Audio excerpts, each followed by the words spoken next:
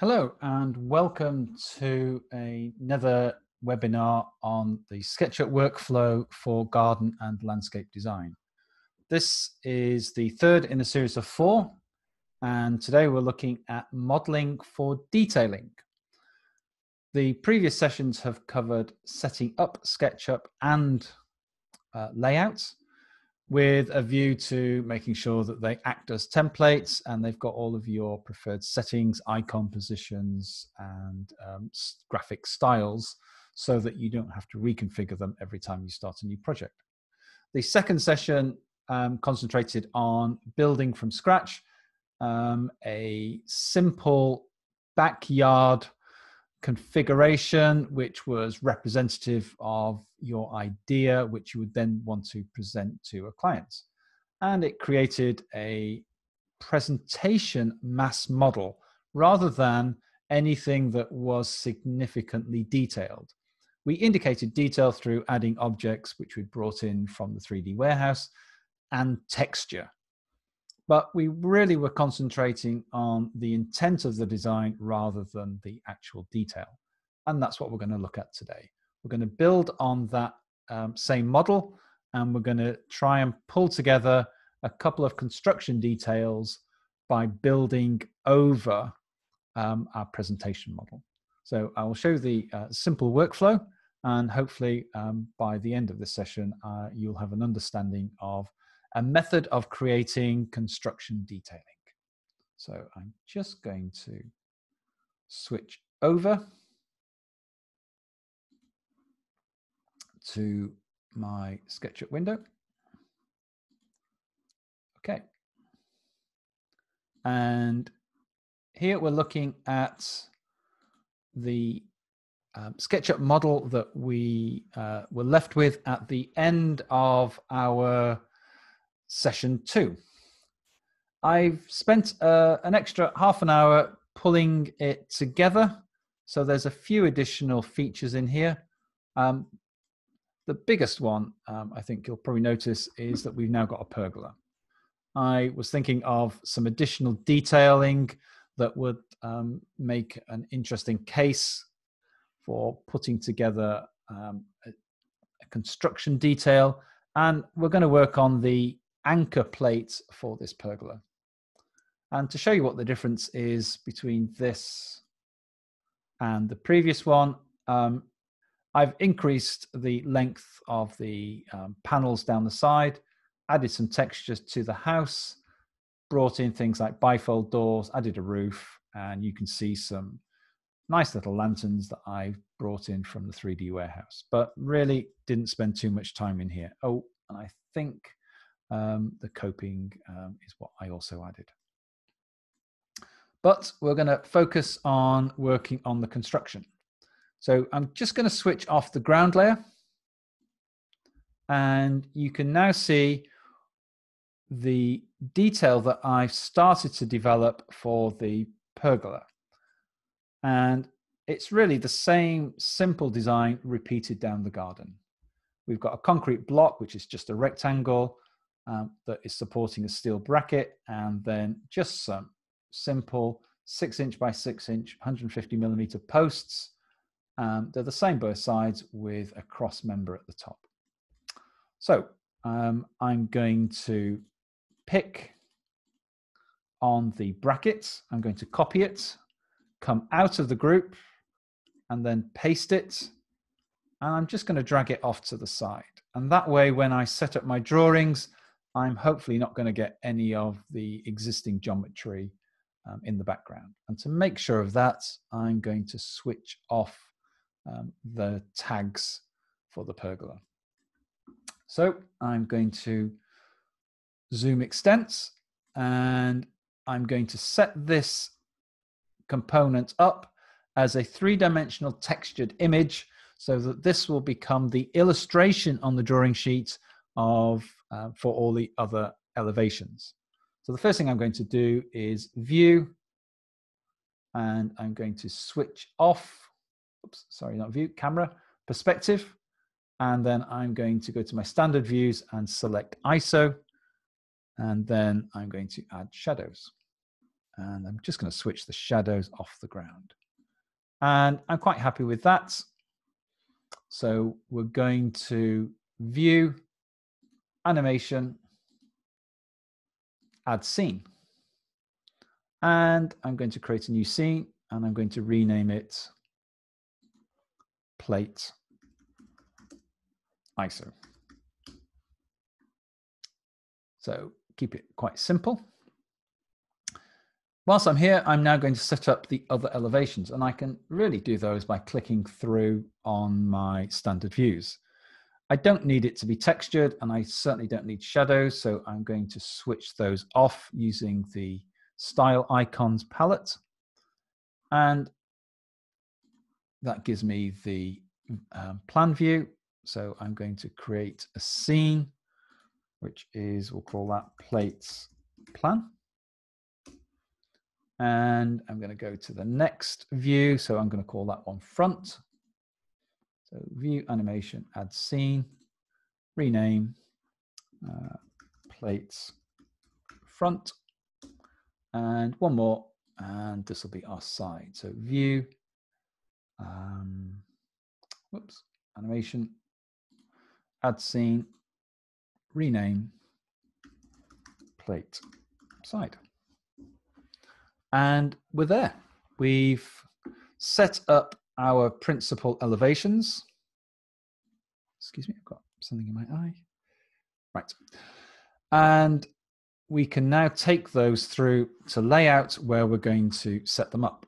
So I'm just going to send to layout. Um, there's a little icon at the bottom of your large tool set.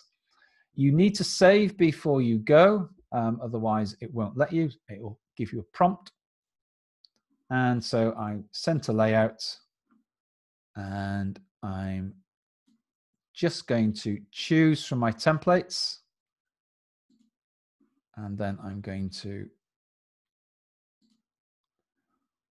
uh, share that screen with you. And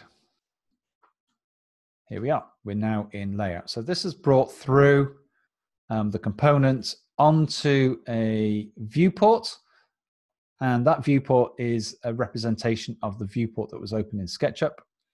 And I'm going to right hand click over my viewport and right at the bottom I'm going to set the scale. Um, at the moment the scale is currently set at 1 to 2.64 something and I'm just going to make it a bit smaller so I'm going to go 1 to 3 which looks fine. I think I can work with that. I'm going to resize my viewport by dragging the side handles and then just pushing that up into the top corner so that it gives me space around the rest of the drawing sheet for laying out the rest of my elevations. So I'm simply um, going to move my mouse into my viewport. And as I do so, it move, changes to the move icon. And then when I hit my um, control or alt key, I can then drag a copy. And whoops, try that again. There we are. So when I've selected the viewport, I can then scroll down and pick scenes. And in this case, I want plate front. And it copies the attributes of the um, viewport that I've pasted. So if that one was set at one to three, this one is set at one to three. And I'm going to drag out a copy to the side and set that to plate side. And then I'm going to drag one underneath and I'm going to set that to plate plan. And that looks quite good. So I'm just going to give these a little bit more space. And I'm ready to give it some dimensions. So these are real dimensions. There's no scaling involved. So I'm just putting in some principal edges. It's defaulting to meters because that's what my uh, template is, but I will change these to millimeters. So um, I might want to add a detail from edge to center point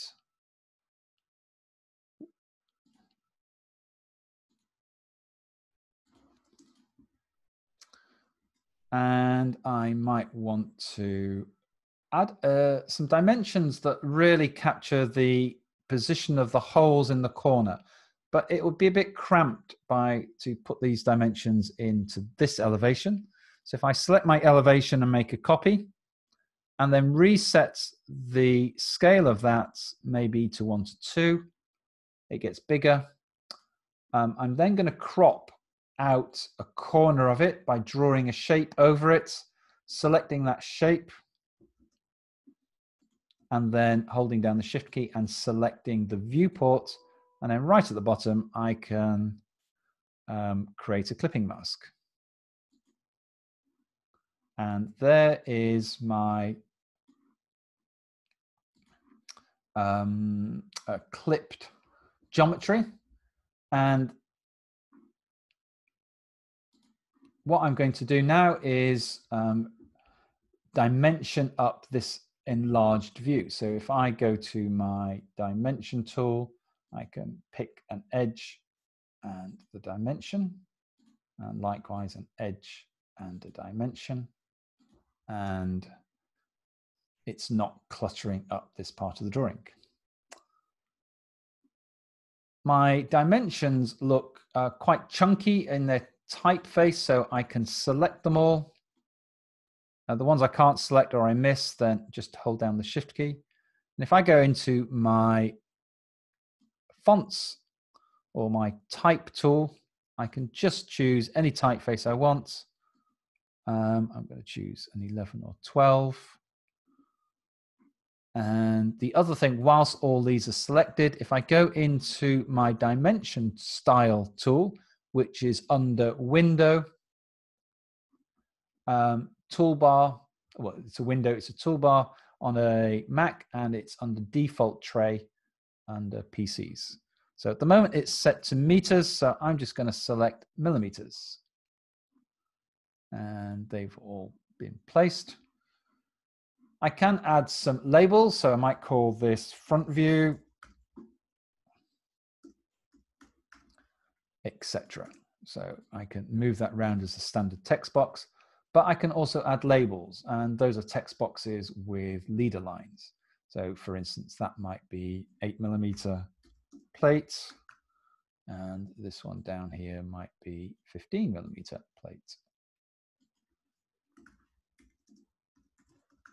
And then I could add notes about through holes and um, what the diameter of this uh, tube is. So this is 70 millimeter um, diameter tube.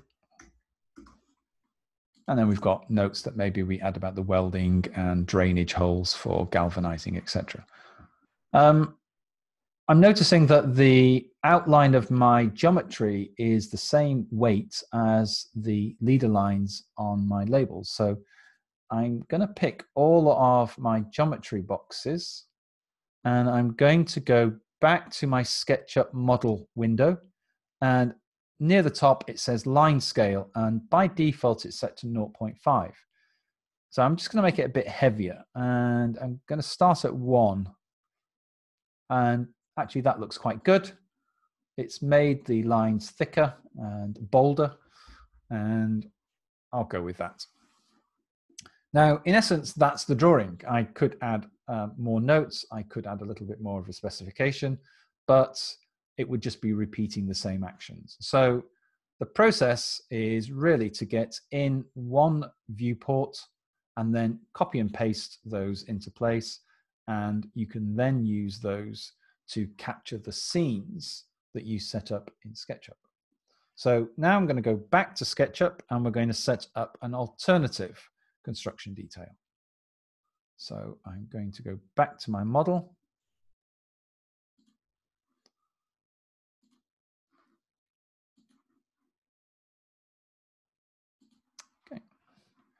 Um, I'm going to put my steel footplate onto its own tag. Um, and that's already switched off. So there we are back with the, um, the working scene. And I'm just going to switch off the pergola. I'm going to switch on another layer. Um, and I was playing with it earlier, so I just need to move these out of the way. And what I also have brought in is some really simple basic geometry. And these are just cubes, rectangles, and I've just given them a texture. So if I looked at the textures, you can see that they're made to look like brick or concrete block. Um, I've got one that looks, if you use your imagination, a bit like a land drain or a concrete foundation. But these are really just rectangles with some colors and textures painted on them. And what I'm going to do is use these to build a construction detail on the front face. And it's really very simple. Um, I have these as standard elements. I've probably got 40 or 50 of them, and um, I keep adding to them. And they sit on an, uh, a layer within my SketchUp session. And when I need to do the construction detailing, I just open them up, line them up a bit like Lego bricks, and then just build my details. Now, the first thing I'm going to do is I've got a rectangle here that is 600 by 600 by 25. And so it represents a paving slab. And I'm just going to drag a corner and stick it so that it's at the right level. And then I'm going to pick this rectangle here. And that is my coping stone. And it's slightly different to the coping stone that I've got in my model because I looked around very quickly and I found that there are some, several manufacturers doing copings at about 400 millimeters, which is what this coping stone is. If we decide to change that later, doesn't really matter, but I will need to just update my model. And next thing is I'm going to put my facing stone in. So that's these two elements and I'm just going to drag those and put them in place. And that was pretty good first time. So just drag it up a little. What I've done here is um, these were new, so I created them for this session. And if I switch textures on, you can just about see my outline, but all I did was take my freehand drawing tool and draw around some of these sort of uh, rubble stone effects. And then I simply brought them forward and applied a texture. So really nothing fancy. Uh, I didn't really spend any time on it, but you can probably tell. Now, um, I've got these three elements, paving, coping, and walling in. So I can probably switch off my um, wherever my ground is. There we are. So those are in place. So it's going to be relatively easy and quite quick to construct the rest of this feature. Um, I'm going to bring in some concrete blocks. So I'm just going to grab those and simply put them underneath my coping. And if I can get them into position. they're not playing.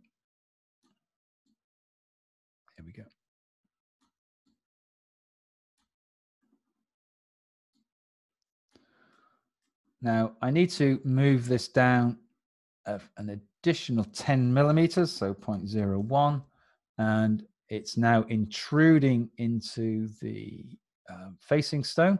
So I'm just going to nudge that across, and then I'm probably going to move it across 0.03. So it's got a 30 millimeter cavity between the two. And it looks like that's enough concrete blocks because my concrete block is going just below ground level. So I'm now going to go and get my main concrete foundation. I'm just going to put that into place. And it's not the right size, so I just need to resize it. So I'm going to double click and push, pull, and touch the front face. And then I'm going to drag it forward 0.1 so that my, try that again, uh, 0.1, that's better. So now my footing um, is wider by 100 millimeters than my front face, and I'm going to do the same at the back. And I also need to just move it down 0.01. So I've got a 10 millimeter gap uh, for my mortar. Now, it could be that um, we agree with the contractor that we need 150, even 200 millimeters worth of um, additional width on our foundation, and we can adjust the, the, um, the details later. My concrete block, my foundation is 150 millimeters as a standard. It might be deeper. It's unlikely to be less. So I've got some of the elements in place. Um, I need to bring in my vertical drainage board. So I'm just going to bring that over. And that's gone in. And the uh, next thing is I'm going to bring in my land drain, and that's just going to sit approximately in that location. Um, I might use my uh, reinforcing mesh. I'm not sure if this foundation needs reinforcing, but I'm going to include it just so that it's in the drawings and we can discuss it if we need to. And one more thing, and that's this little detail here. And this is a wall tie. So I didn't model this, I brought it in from the warehouse, but I'm just going to put it in to the model. Um, I just need to raise it up a fraction and maybe bring it across. Yep, that'll do. And that's because um, we may need, to, we will need to tie the front and the back wall together. We can do that several ways, but the wall tie is at least symbolic of um, the ways we might do it. And I think that's it. We've got all our details in place.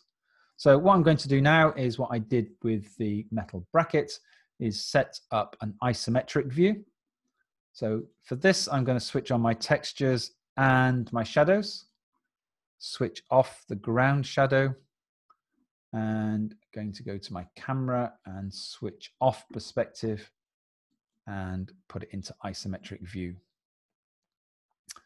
So that's going to be my illustration.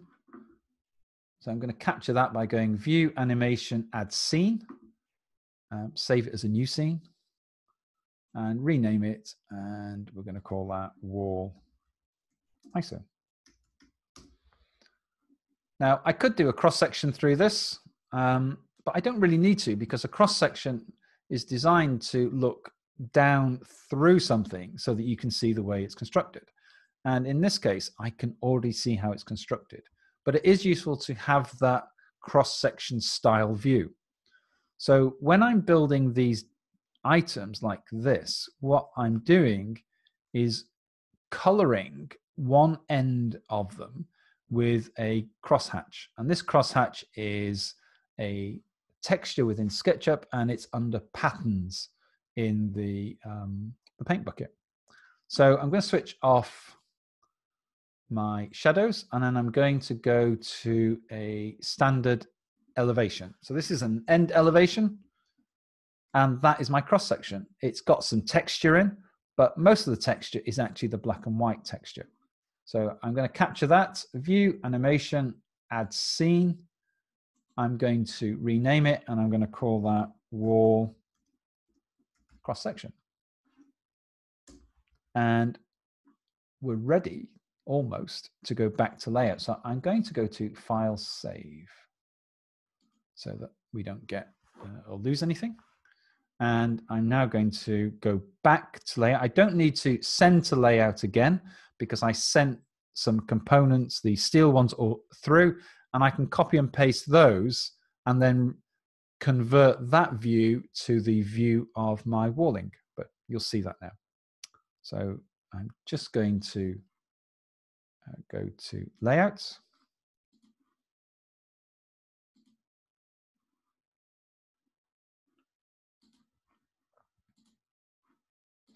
And we're back in layouts and I'm going to um, duplicate this page.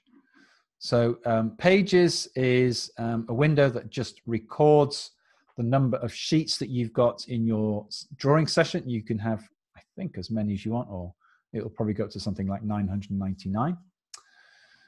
So I'm going to duplicate simply because I want to capture one of these um, viewports.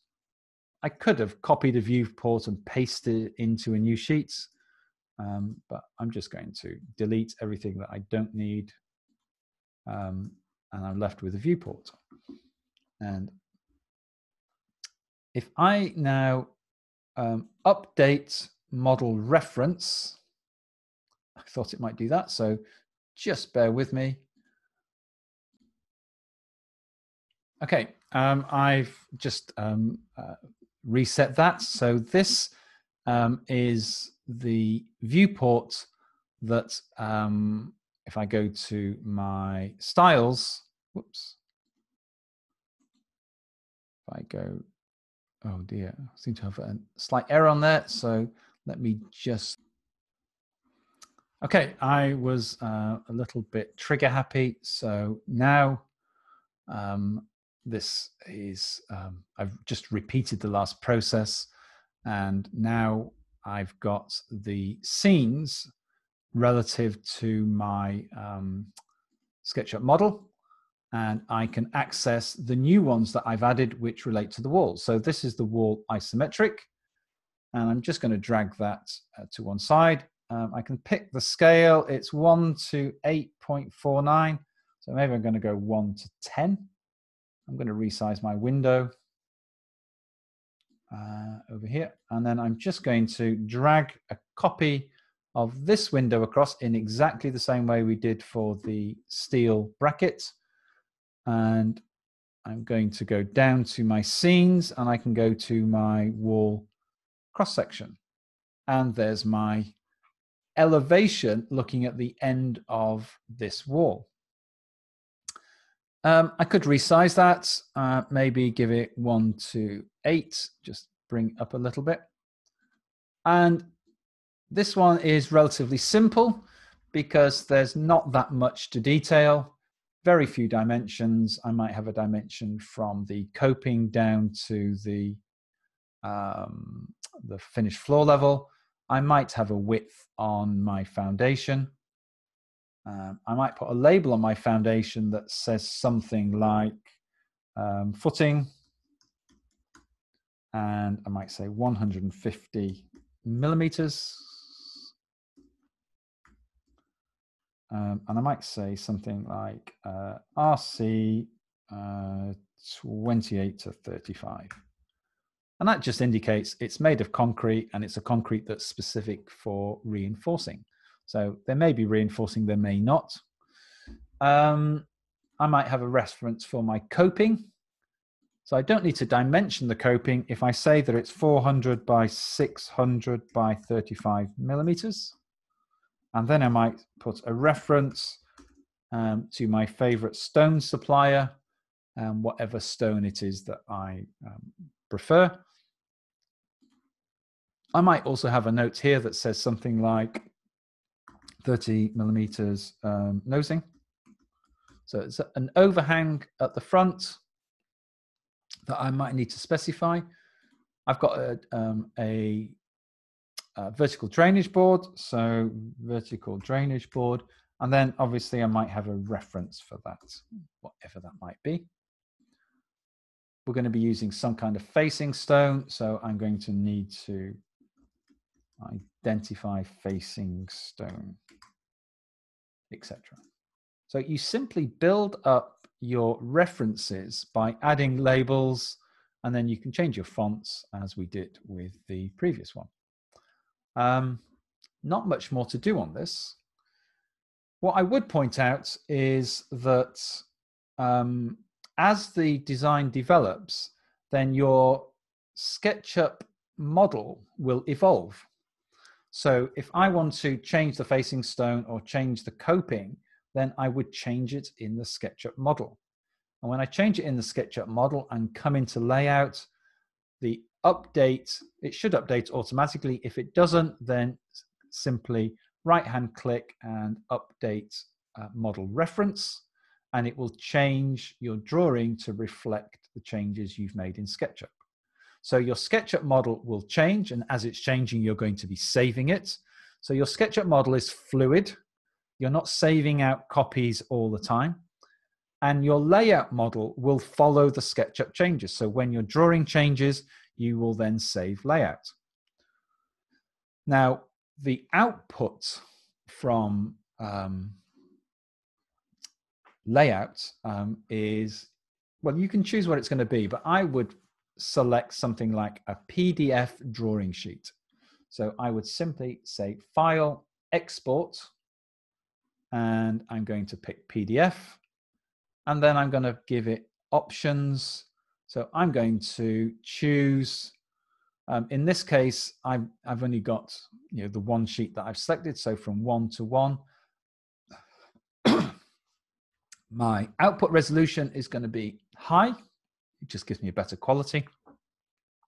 And I'm going to say OK. And then I'm going to say save. So I just need to make sure that I save it into the right area. And I'll just call this test drawing. And I'm going to hit save.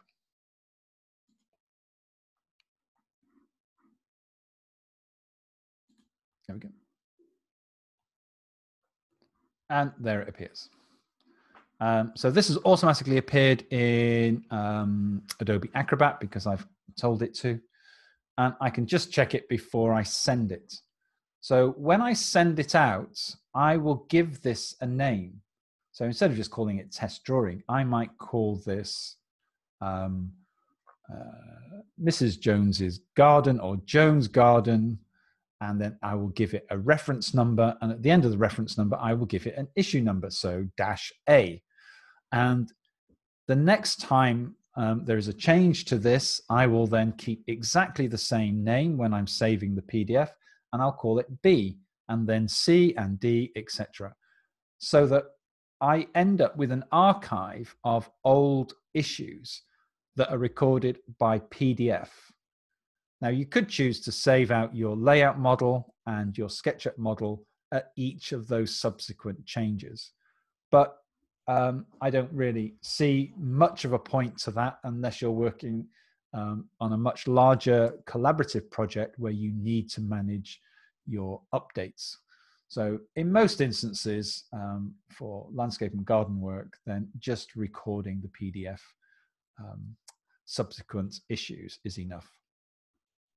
So, I'm just going to close that down. Um, I think that's it. I really um, don't want to go into too much more detail. Layout, I'm only just touching on. Uh, there are lots of aspects that you can improve your workflow and you can actually save these drawings into layout so that you don't even have to go through the whole process of setting them up again. You can archive them and then immediately retrieve them and edit them on a project by project basis. So that becomes very effective. And it gets a little bit different when we're doing things like planting plans, but nevertheless, there is a semi automation involved. I hope that you've uh, got some insight from this. Uh, maybe it's inspired you to have a go or approach it in a slightly different way. Um, I've very much enjoyed um, showing you how I work.